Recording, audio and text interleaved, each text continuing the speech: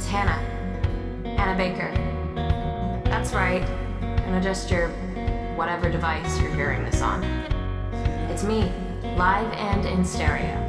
As I'm about to tell you the story of my life. Talking like we used to do. Life is unpredictable.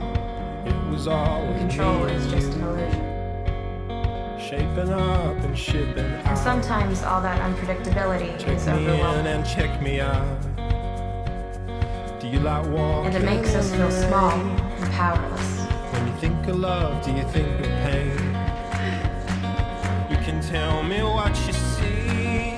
What if the only way not to feel bad is to stop feeling anything at all forever? Hold on, darling. This body I've got skin to cover all my thoughts like saran wrap, That you can see through to what leftovers are inside from the night before.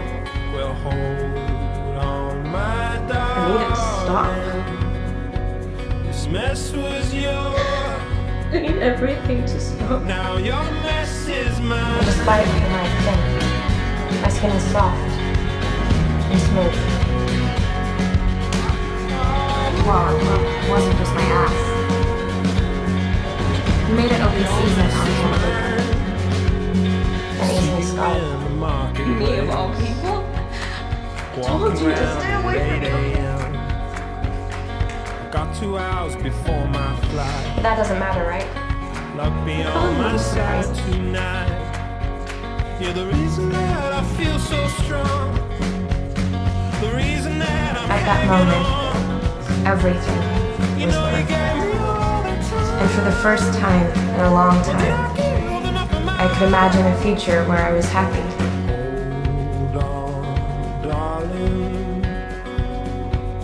This body is yours. This body is yours and mine. Well, hold on, my darling. A week before she fucking slit her wrists and died at home, you raped her. My part. Now your mess is mine. The way I see it, there are two different kinds of death. But I'd lost control. It's just what I'm gonna have to do. She was right here. When she was in pain, she was reaching out. I know some of you listening might think there was more I could have done, or should have done. I don't understand. I do understand. Get the fuck out! Why'd you have to leave? It was the worst thing ever. Because you aren't every other guy. You're different. You're good and kind and decent. And I didn't deserve to be with someone like you. I never would. What I mean is, I like working with you. I think I've made myself very clear. No one's coming forward to stop me.